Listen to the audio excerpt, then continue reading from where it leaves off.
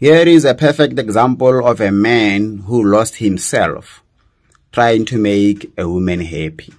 I put all my importance on her.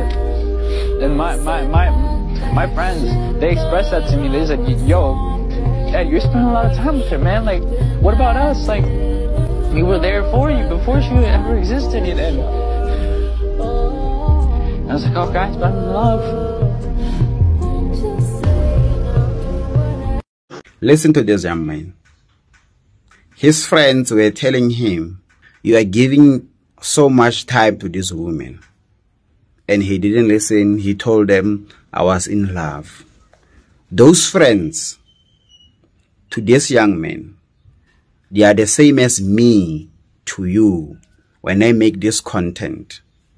Women hate me because they know they won't be able to take advantage of you if you listen to what I preach on my content. They will call it shaming women. They will call it always saying negative things about women. They will call it being misogynist. They will say I'm bitter, I'm hate and everything. They will discredit everything I say so that you don't take it serious. And then you're going to end up like this young man. This young man has lost himself. He gave everything to that lady and he didn't get anything in return. And what happened? He's now broken. He gave everything physically and emotionally. He gave everything he could. And look at him now. He's broken.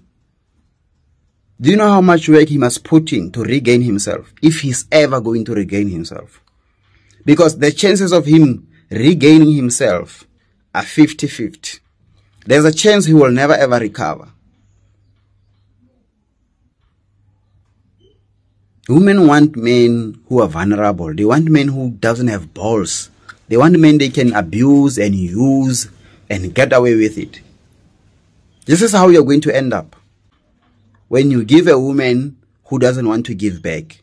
When you love a woman who doesn't want to love you back. When you care about a woman who doesn't want to care about you back. You need to save yourself when you still can or you're going to end up like this pen. So many men are like this young man.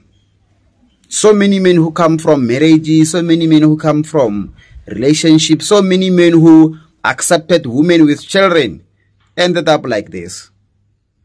Because you thought your kindness will make that woman love you. You thought when you show her love, she's going to love you back. She's going to respect you. She's going to appreciate you. And no. She's just a life sucker.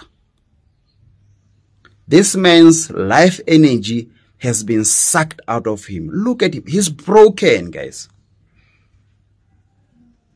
She was practically dating a vampire that sucked everything out of him. He's hollow. He's just a shell of a man.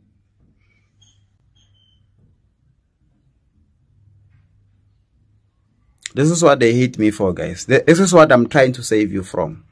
I know I'm going to get a lot of hate for what I'm doing. I'm not stupid.